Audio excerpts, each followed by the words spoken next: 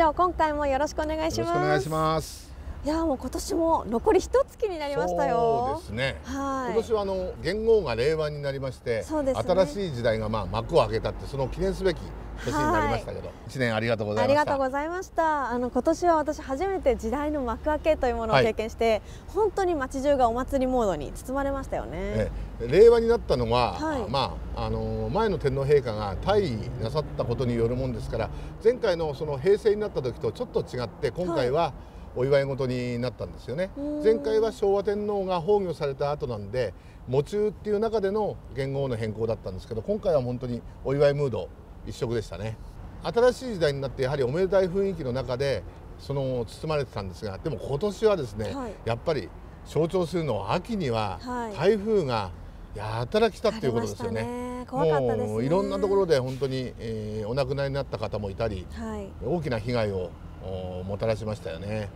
市内でも体育館のおガラスが割れたりあと倒木ええ。海の方では木が倒れたり、はい。またあの大雨、えーがあったりですね、ええー浦安でもお道路が冠水したりとかいろんな被害があったんですよ。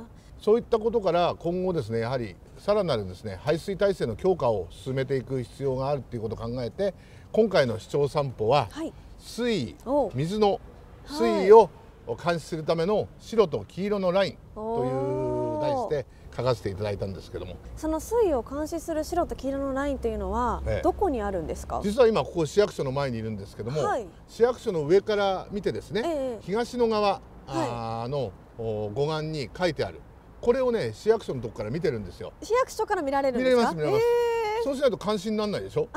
そうですよね、ええ。じゃあ人間が監視しているということですね、あのー都市整備部だったり、ええあと市長室の方私の部屋からも見えるんですけども、じゃあその場所に行ってみましょうか。はいぜひお願いします、はい、じゃあこちらになります。はい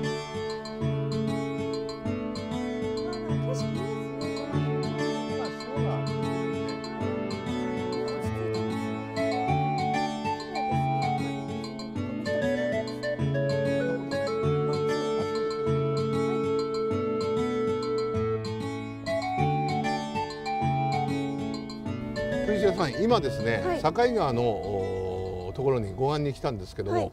これ向こう側東の側見ていただくとはい。わかるんですけども、はい。白いラインと黄色いライン見えますかね？あ見えます。あの上が黄色で下が白ですね。はいわかあのります。ラインがはい。実は下のラインがはい。2.1メートルのラインなんですよ水位の。で黄色いラインが2.6メートルを示すラインです。あこのラインははい。以前ですね、はい。あのーこの職員が管理した職員がええ。自分たちでどのラインに来たらっていうののために自分たちで引いたんですよ。あそこに人が行ってそうそう自分たちで引いた引いたんですね。だから2.1メートルっていうのがこれはい。が普段の満潮の時の水位になります。ええなるほど。ええ。じゃあ今はちょっと低あめ今ですか？潮が引いてるんで低いんですけど、はい。それが台風なんかで高潮が来たりするとええ2.6メートルぐらいまで、こあの間の台風の時にもあの黄色い線のところまで上がったんですよね水がね。2.6メートル、うんじゃあ2.6メートルっていうのはええ。何の数字かっていうと、はい。2.6メートルをはい。超えると、はい。川に出ている雨水管から逆流する可能性があるんですよ。なるほど。ですからそうするとゲートを閉めたりとか、はい。あとは逆流をおする可能性もあるんで交通規制をかけたりとかいろんな対応をしなきゃいけないんで、ええええええ。ですからあの2.6メートルっていうのが一つの目安になります。なるほど。あそこを越えてからがどうするかというところえなんですね、え今回の台風の時もそうなんですけども、はい。よそでは土砂災害が結構起きてたんですけども、はい。浦安の場合は土砂災害がほとんどありません。で護岸もこういうふうに強化されてますんで、ええ。基本的に河川や海岸からここから水があの堤防をこう護岸を越えて向こう側に溢れるっていうことは可能性はまずは考えられないですね。うん。それは安心ですね、ええ。ただところどころに出ているゲートから水が逆流をして水はけができなくなって高潮に伴う内水氾濫を起こすというはあ。そういうことなんですよね。なるほど。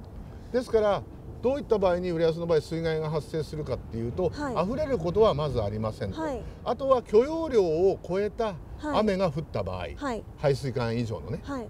それとあとは高潮で逆流した場合はい。こういった場合に道路の冠水や浸水被害が起こるんですよ。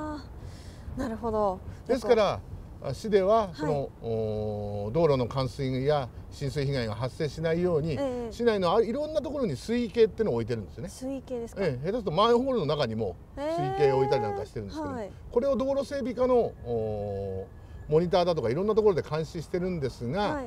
その数字だけじゃなくて、ええ。やはり監視体制取りながらこのいろんなところから監視をそうです。これ実際見て自分たちの目で確かめて、ええ。機械だけじゃなくて職員の目によってこういったところで監視してるんですね。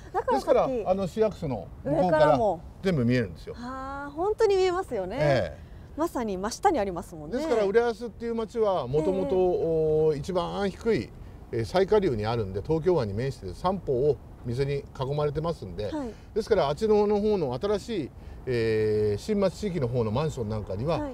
雨水を敷地内に、えー降った雨を、はい。雨水を地下に貯留するための施設っていうのを皆さん揃え備えてるんですよね。へえ2時間貯留できるんですよ。あそんな施設があるんですか？昔からそういった対策もずっとしてますし、ええはい元町の方では、ええ。あそこに見えるような水門があってポンプ場で水はけをする。はあ。こちらもゲートなんですけどね。はあもし万が一浦安で浸水や冠水が起こってしまった場合はどのようになるんでしょうか、基本的にははい。我々は、ええ。あー起こる前はい。は水平の避難を、あー。おお願いしてます、はい。ただ実際にもう雨や風がひどくなってた時には垂直の避難高いところに1階じゃなくて2階ぐらいまで逃げてくださいとないうようなお願いをしてるんですね。はい。それで自主避難所も開設してますしさまざまなこれからも体制を整えていきたいというふうに思ってます。実際ゲート行ってみましょうか。あぜひお願いします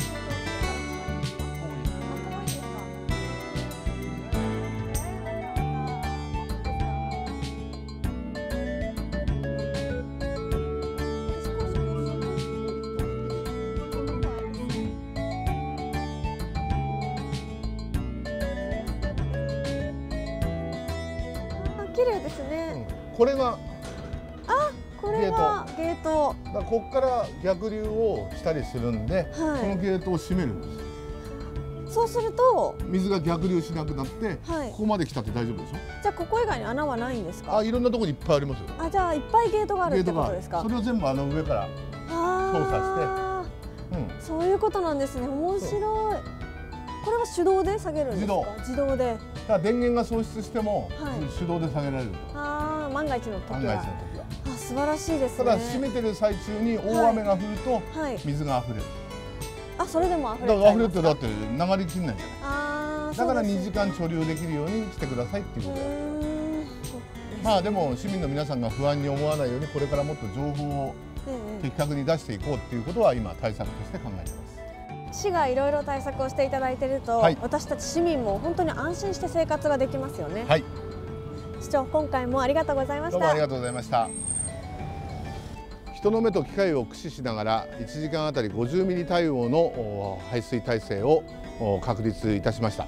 しかしながら台風の大型化ゲリラ豪雨等々を考えるとさらなる対策が必要となります。えー市民の暮らしの安全を確保するために引き続き排水体制を整備してまいりますのでご理解ご協力よろしくお願いいたします。